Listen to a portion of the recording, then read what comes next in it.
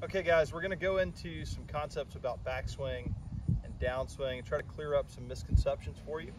So a common question that I ask a lot of my students when we're here in person, um, one of the first things we'll start with when I see certain behaviors, particularly swings over the top or left paths or out to in, typically I'll have the student set up to play a shot and then I'll ask them to use their trail hand, make a pointer finger, and point in whichever the direction they think of as quote unquote back.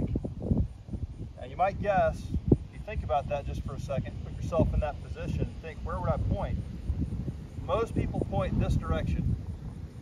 Okay, so then I usually ask the student, well, okay, if you're standing in line for something, waiting to get into a concert or a football game, if you're standing in line, back is actually this direction. And this way would be to the right. If I were a left-handed player, I, I would have obviously been facing this way and pointed to my left. So the reason this is significant is because typically players who are thinking in that way are considering the target to be the flag or the fairway. So they think toward the target must be forward, opposite the target has to be backward. Just makes common sense. In reality, the frame of reference is wrong in that case. Your target is your golf ball. So forward and back relate to you, not to your flag over there, right? So back is here, forward is there. Now I want, to, I want to make sure this concept is clear because the first thing we're going to do when we go from here is we're going to make a back swing. Okay, so back is that way.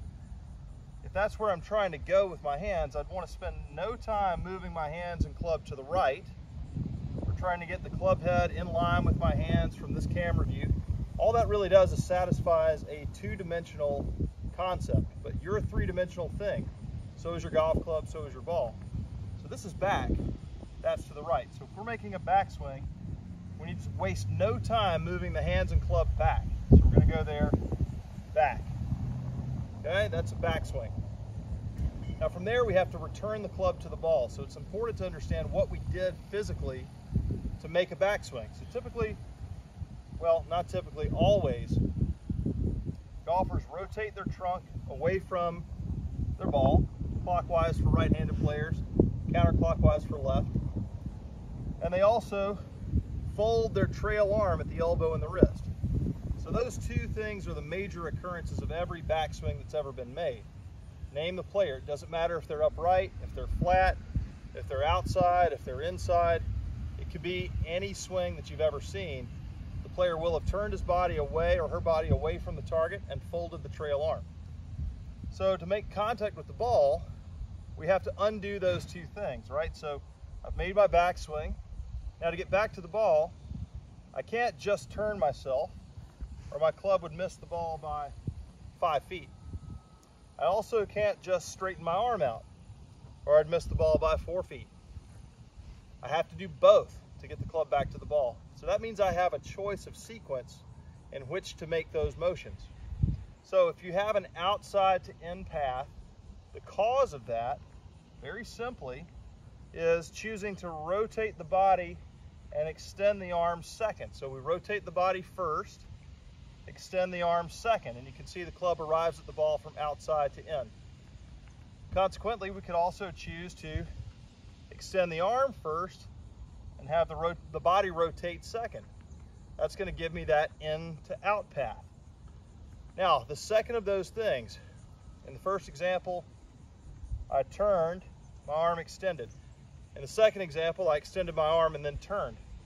The second option in either of those sequences is an automatic occurrence. So you only have to think of one or the other. So if I want to produce an out to in path, let's say I wanted to play a fade, Obviously, I'm going to make a backswing first, and then I'm going to rotate my chest and just allow my arm to release. That'll give me an out to in path and a fading shot.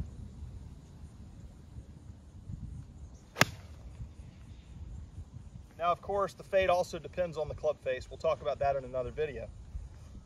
So if I wanted to produce an in to out path, then I'm just going to change the sequence. So I'll move the club back behind me to make my backswing and begin the downswing by lengthening my right arm right down the side of my body.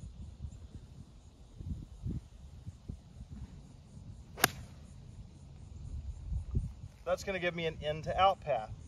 That will also shallow the attack angle, whereas the first example would steepen the attack angle.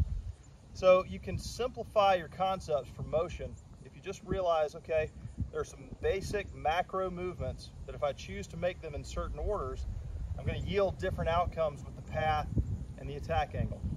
Give it a watch again, take some notes, make sure you understand it. I'm sure it'll benefit your game.